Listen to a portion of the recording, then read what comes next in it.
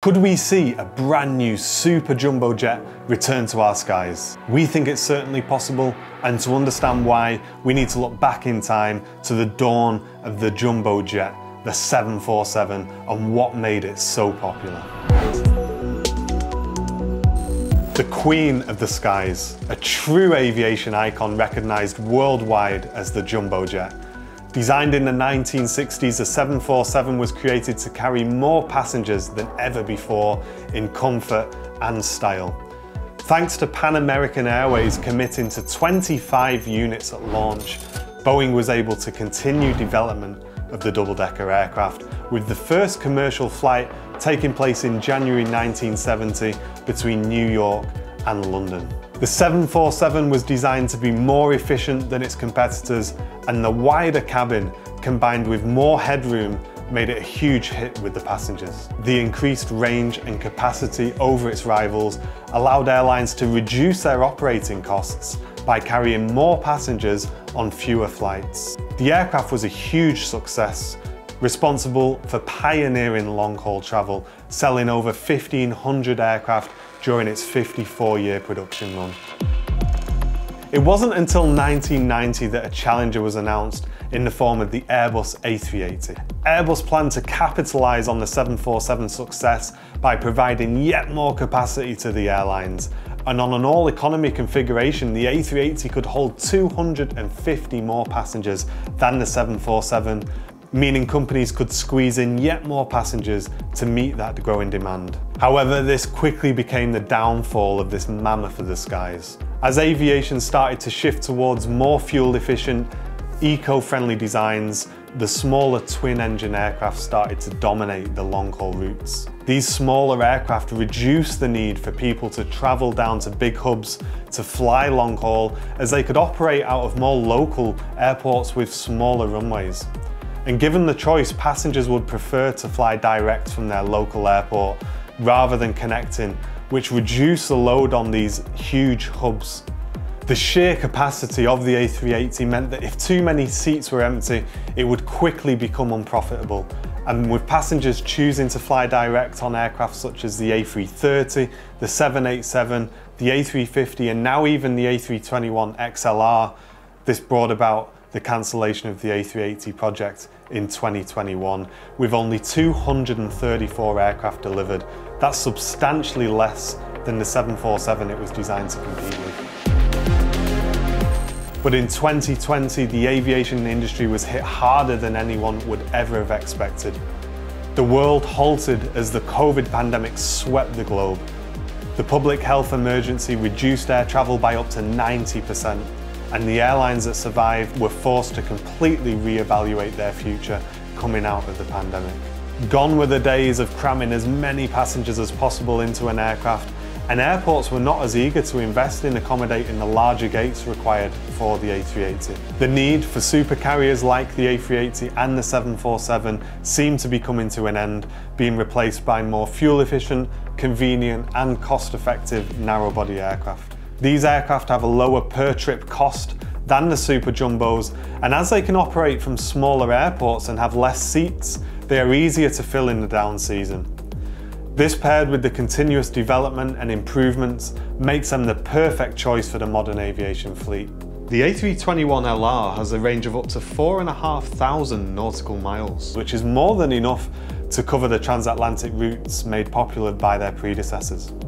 For the longer flights, twin-engine efficient aircraft such as the A350 and the 787 were more than suitable, transporting the passengers in comfort whilst being more reliable and cheaper to operate for the airlines. We have also seen a huge leap forward in engine technology, with the latest engines providing over four times the amount of thrust compared to those used on the 707s, for example, which means airframes these days are more than suitably handled by two engines. This paired with the increased reliability of the powerhouses led to a relaxation of regulations allowing twin-engined airframes to fly further away from destination airports with the introduction of ETOPS. So what's changed with the new engines? One of the biggest and most important advancements is the increase in fuel efficiency.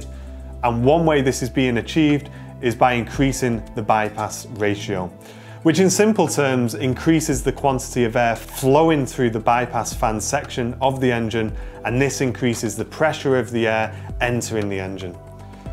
A better bypass ratio is what we're seeing across the board in newer airliners and to modern standards the A380 has plenty of room for improvement as the likes of the Trent 900s among other engine options used on the Super Jumbo have a much lower bypass ratio than those of the Trent XWBs and GEnx counterparts. Could a new engine option be the solution for the A380? Well, Emirates President Tim Clark was asked about this when discussing a next generation A380 aircraft.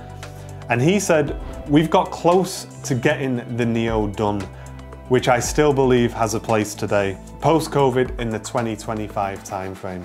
So it's clear that the A380 operators in the world would be invested in a new generation Super Jumbo. But haven't we already seen a modern Super Jumbo aircraft? The Boeing 747-8 was the final design of the Queen of the Skies. She featured the GEnx engines, the same as the 787 Dreamliner, which are incredibly efficient and reliable. The 787-8 even had composite wings with the efficient curved upswept design and it really was in 2011 as modern as it gets from when it was certified to fly. But the Dash 8 production run lasted less than 12 years, with the final airplane being delivered to Atlas Air in January 2023.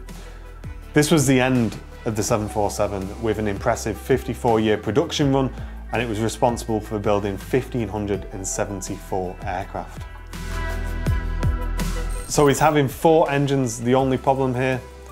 Today we're seeing skyrocketing demand for air travel across the globe and the aviation sector is recovering from the COVID pandemic.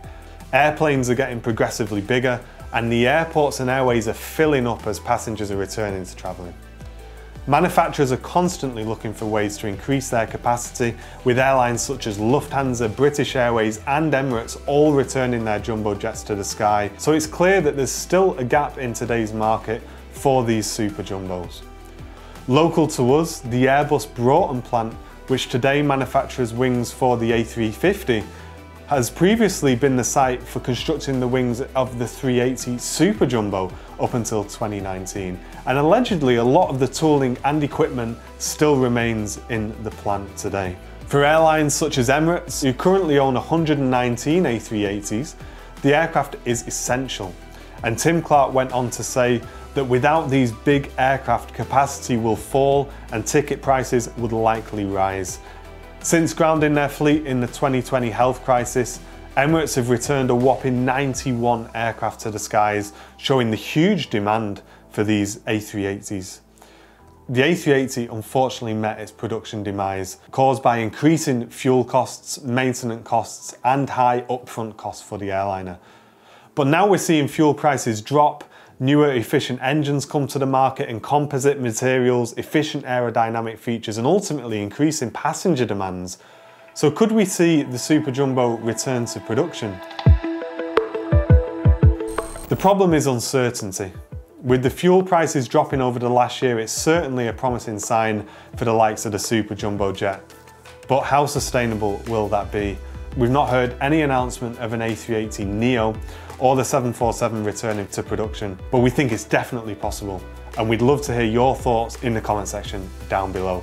Let us know what you think. Would you love to see a 380 Neo or the 747 return to the skies? We'd love to hear your thoughts and we'll catch you on the next one.